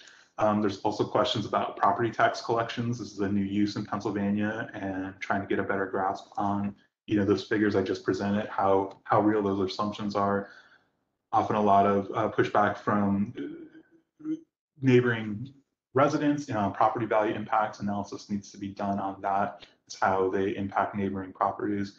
And a, really big one is the end of project concerns, um, decommissioning, recycling, disposal of the projects, restoration of the land. Um, right now, the best practice appears to be, you know, that decommissioning plan needs to be part of the lease agreement between the landowner and the developer.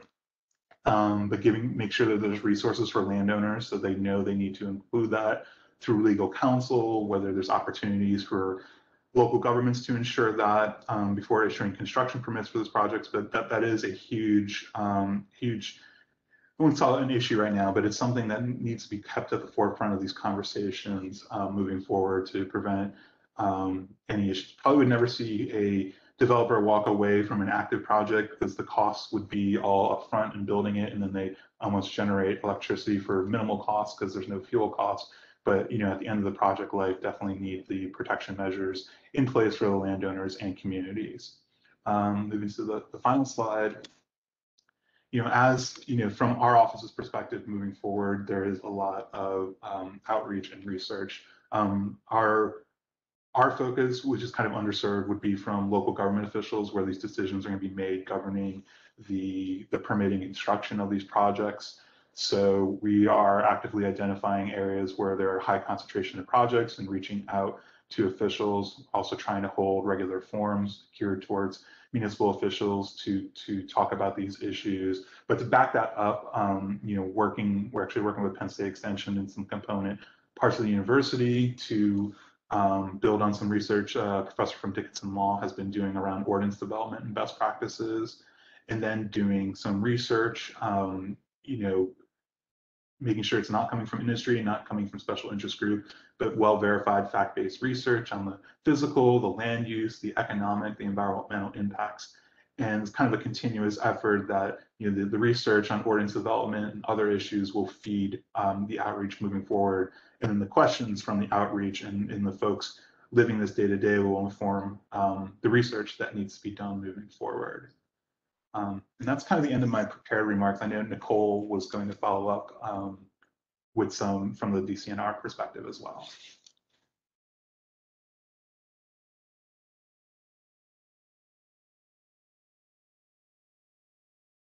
Hi, good morning. Uh, Geraldine, did you want me to just uh, provide some remarks now? Yep. or- That would be great. Perfect. And we figured we'd just save our questions uh, for the end for both of you at that point. So yes, go right ahead, Nicole. Thank you. That sounds great. So uh, thanks, Robert, for that really great overview of what's happening here in Pennsylvania. Just wanted to provide a bit of a DCNR perspective. So just want to start out by saying, you know, as, as you, many of you know, DCNR is actively working to address climate change, um, advancing the governor's climate fo focused executive order, Secretary Dunn's priorities through sustainable green, green infrastructure solutions. So um, many of you would recall the 2018 Climate Change Adaptation and Mitigation Plan that we put out, which resulted in identifying 123 action steps that are related to the areas that support our core mission. So we're really taking this seriously. Um, we're actively working to reduce the department's overall carbon footprint. And we're doing this in, in a variety of different ways through energy efficiency, through clean energy technologies, um, through, through sequestration. Uh, we have our Bureau of Geological Survey that's doing a lot of research to understand how we can promote best practices for geological carbon sequestration. And of course, our forests um, are really key. So we manage our forests sustainably. We help private forest landowners um, opt optimize the forest benefits. And of course, this includes carbon sequestration. And in addition, we're trying to increase our forest canopy. We want um, to increase um, the amount of trees planted, um, urban tree plantings, so that we can help increase carbon sequestration. Um, so you um, you also are probably familiar with DCNR state, state Forest Resource Management Plan, which guides the department in best practices. Uh, and again, really trying to reinforce that forests provide society a valuable service in mitigating the impacts of climate. And DCNR's forest lands alone uh, sequester approximately five and a half million standard tons of carbon uh, each year. Uh, so, you know, we're we're doing um, a lot in terms of investments Uh, you may have heard DCNR is investing in solar projects on our lands. I just want to make sure that you understand that these, this does not include commercial scale solar projects. Um, we do not uh, site uh, utility scale projects on our lands, nor do we have plans to. Our projects are really small scale um, to power on-site park and forest operations. And I think our sustainability team, um, who does an amazing job, uh, has done presentations for Conrac. So we're looking at no to low impact. We're looking at primarily roof mounted installations when feasible or ground mounted on, on marginal lands. And certainly uh, we're, we're not uh, deforesting our property uh, for the sake of, of, of solar.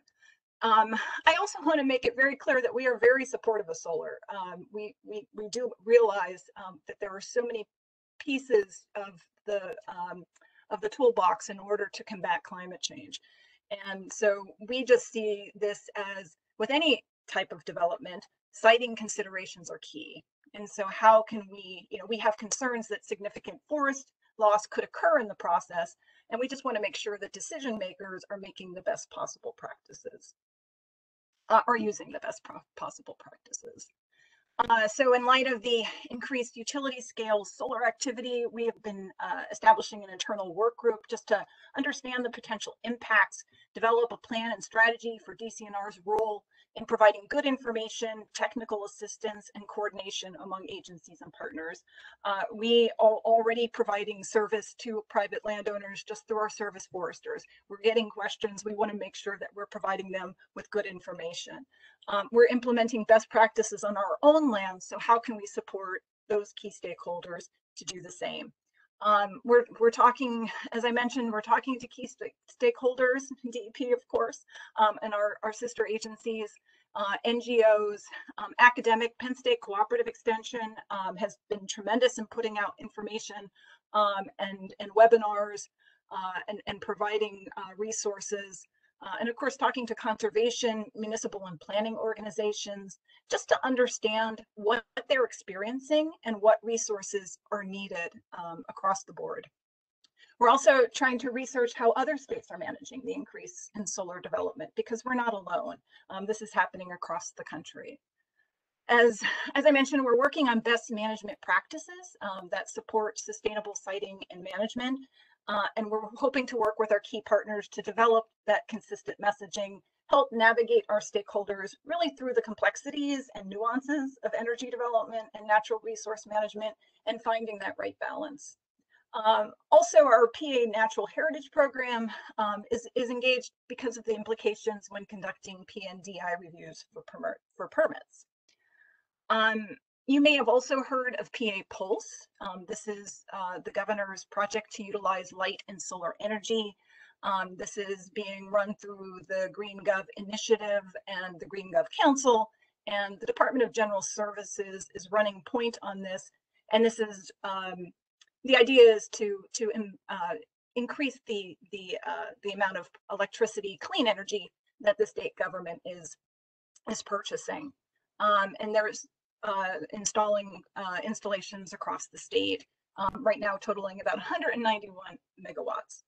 So I do want to say that we appreciate and support the Green Gov Council's adoption of the Nature Conservancy's best practices. So the North um, Carolina Nature, Nature Conservancy developed some guidance materials that are available online.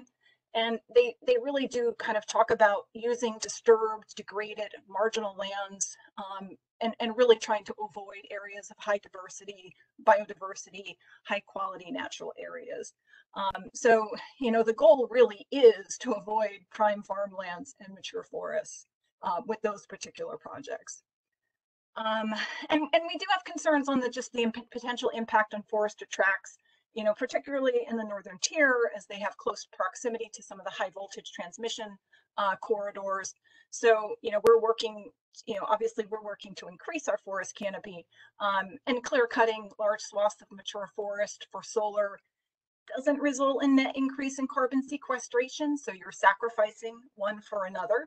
Um, when you remove large swaths of mature forest, you're also eliminating the beneficial carbon sinks that are already contributing to climate mitigation. Uh, certainly, it's it's far more beneficial has been stated over and over again uh, to site large systems on marginal lands that do not contribute significantly to carbon sequestration.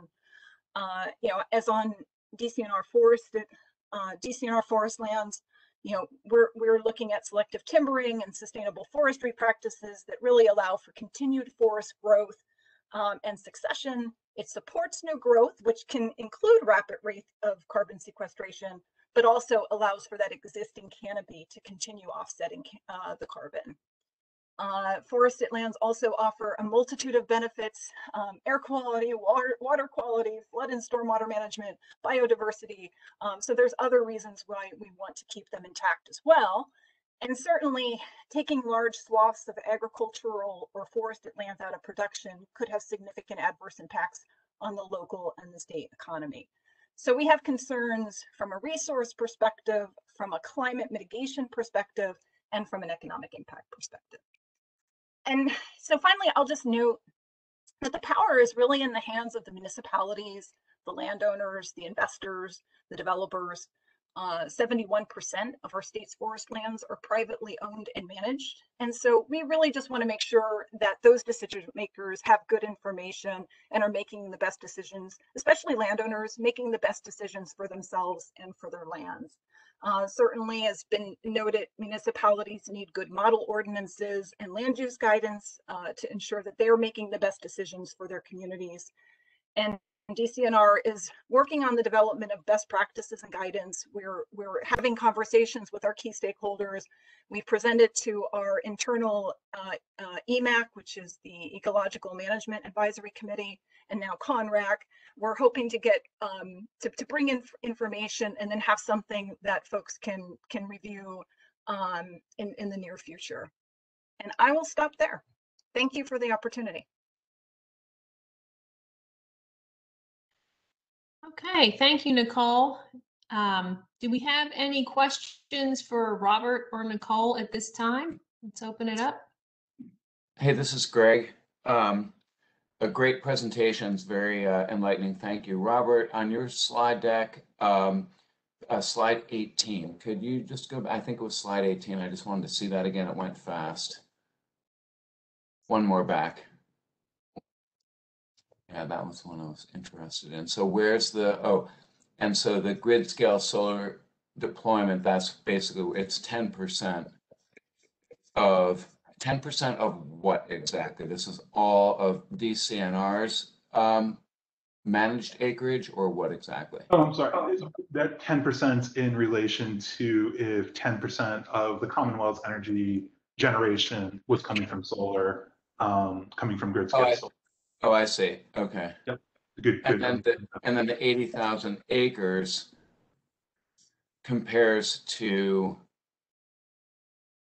I was sort of trying to look, there's a lot of information here. It's pretty interesting. And I was just kind of, there's a lot of information in your whole presentation, but I was just trying to, I thought this was a very interesting slide. Sure. So the, the eighty thousand was that number that came out of the Finding Gay Solar Future Plan.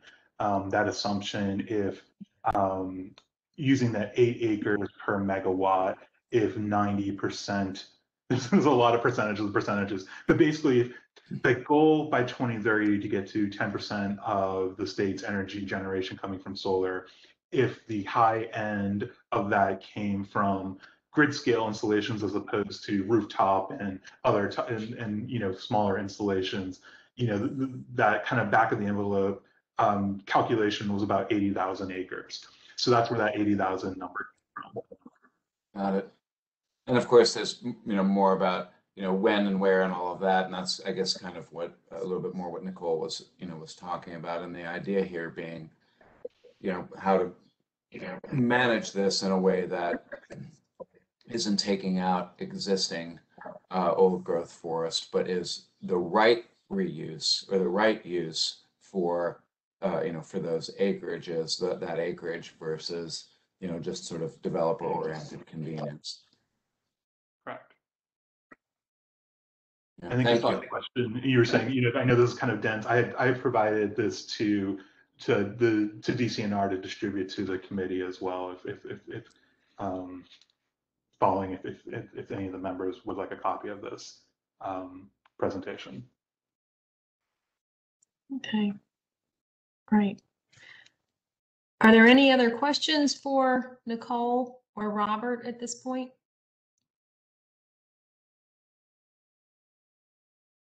Okay, well, thank you. That was a very in-depth presentation and very good. So thank you for sharing that with us today. Okay. With that, we're going to move on to our work group reports. Um, and while I'm on here, I'll just go ahead and give a quick update regarding the infrastructure work group. Uh, as I noted earlier, we did send our letter to Governor Wolf and the Gen- General Assembly asking that American Rescue Plan funds be allocated for state park and state forest infrastructure needs. That went out. And also, the second thing that we are working on uh, as a work group is our second CONRAC conversations. I think some of you participated in our first one, which was diversity, equity, and inclusion. Um, and it went extremely well and had a great dialogue among people around the issue. And um, we're hoping to have a similar type format for our CONRAC conversations regarding infrastructure. Our date for that is going to be October 21st, and we will be getting more information out shortly. We're finalizing our title and, and some of the details that go with that um, CONRAC conversation. So hold tight on that one.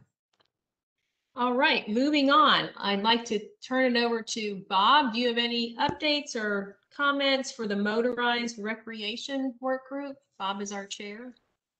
Uh, I just uh, like to thank Chris for his presentation this morning. Learned quite a bit about the pilot project. Looking forward to the upcoming webinars. Uh, other than that, we have not met, and so I have no uh, no report to provide. But thank you. Okay, thank you, Bob. Uh, next is communications and outreach, which is chaired by Sarah Hall Bagdonis. Sarah, anything on your end by way of update? Um, just a short report here. Um, I really just wanted to thank Katrina again for sending out a great newsletter um, for this meeting. And I also wanted to um, just say that we are assisting the infrastructure work group um, in any way we can for the next CONRAC conversations, and we're happy to collaborate on that effort. And we we're looking forward to it. So I think that's all for me. Thank you. All right, thanks. And we appreciate your help with that as well. Um, I don't think Joanne is with us, but diversity, equity, and inclusion work group. Okay, and I know um, after having their CONRAC conversations, they are meeting as a group and will be just discussing next steps and how CONRAC might bring um, the equity lens more regularly to uh, meeting agendas from that end. Okay, and last but certainly not least, we have Meredith Graham. Meredith, I don't know if you have any updates on your end that you would like to share with us at this time for the strategic planning work group? I don't, Geraldine, but I will say thank you to Katrina and the council for helping us get out the comment letter on the proposed changes to the state's uh, science education standards. So thanks everybody for helping to move that quickly. Yeah, and and thank you. We Meredith has a new addition to her family. So in the midst of all of her helping uh, with strategic planning and leading that charge, she also has a new new little girl. So congratulations, Meredith, and thanks for helping us out through all of that. Thank you. Okay, so now we are back to our second public comment period on our agenda. And I do think we have one individual, Randy Green, that um, would like to share or say a few words. And again, just keeping it to five minutes or less. And then we'll also swing back and see if Stephen Lane uh, has resolved his issues with um, either his phone or whatever and is able to hear us from that end. So, but Randy, are you available?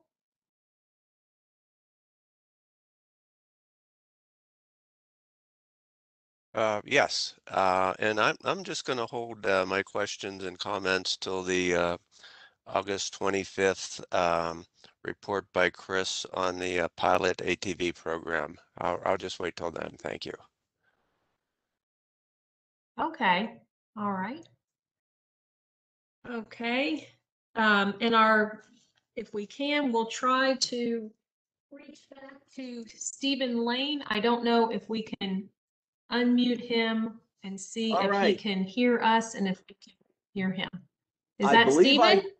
Yeah, this is me, Geraldine. Thank you. Can you hear me? Okay, yes, we can hear you.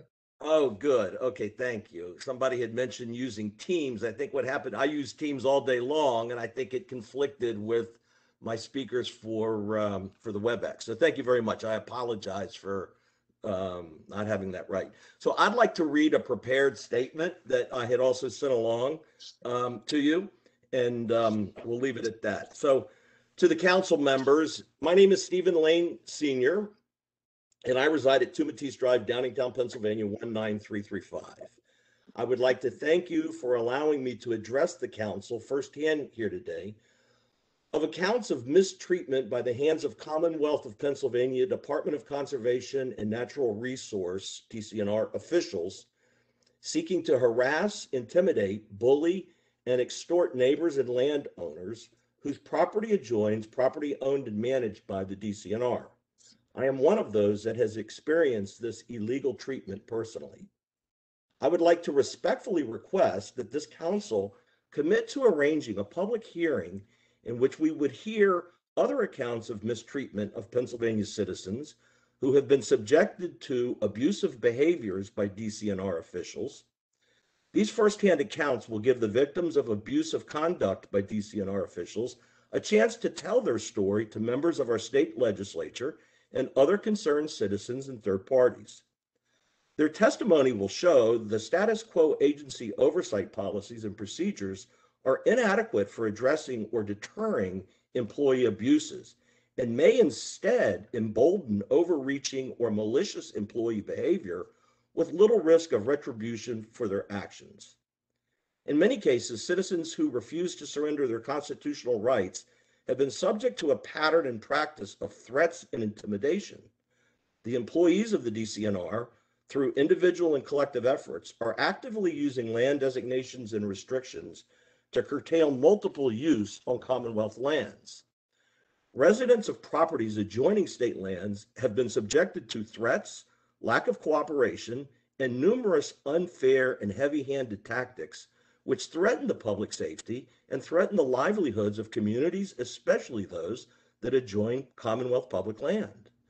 These actions are creating unnecessary tension with individual citizens, state and local units of government, and even local law enforcement.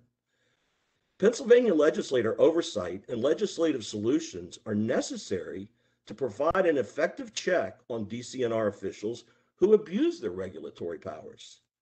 Today's request for this hearing will continue the council's work to fashion a legislative solution that will give targets of abuse by the DCNR employees the opportunity to seek a just remedy. I thank you for your time today, and I look forward to working with you to schedule this public hearing soon. Thank you.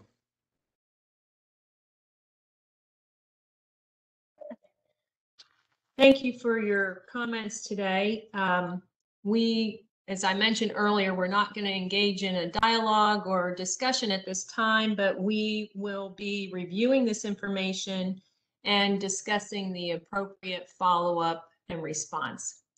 So th- thank you for, for your time today. Okay, with that, um, I think that is everyone that we had wanting to provide comments. Is that correct? Has anything come up since I've, since we started the meeting? Era or Gretchen, I don't know if there was anybody else, or did we get everybody? There was one other, a Dave Get Gessie, but I don't see him in my list anymore. Okay. Okay. All right. Well, with that, our next meeting will be Wednesday, September 22nd. And if all goes well, we will be back in the Rachel Carson State Office Building in room 105 and probably having a combination of some virtual component as well as our in-person meeting. So very much looking forward to that. And thank you all for your patience through this. This was our eighth WebEx meeting and all of them have gone extremely well. Today has been a little more challenging, but I think as Commonwealth staff are getting back in the building and technology and people's technology on their end, we, we did hit a couple little bumps today, but appreciate your patience and time with us and, and thank you for, for joining us today. I'll turn it over to either Gretchen or anyone that might have any additional closing comments at this point. Thanks, Geraldine. I will just echo what Geraldine said. Thank you all for joining us today. We had a, a good number of people listening in. Uh, I did note that there are some questions in the chat that we will collect for the council members so they can address them uh, and get back to the folks that did ask questions. Uh, uh, again, uh, we do, fingers crossed, hope to be back at a hybrid setting, uh, allowing people to come into the Rachel Carson building and council members to see each other in person in September. Uh, so we look forward to that and uh, we appreciate, as always, your interest in DCNR and the advisory council. And we look forward to seeing you all soon. Please say, stay, say, stay safe and be well. Thanks. Thanks, Gretchen. Have a good day, everyone.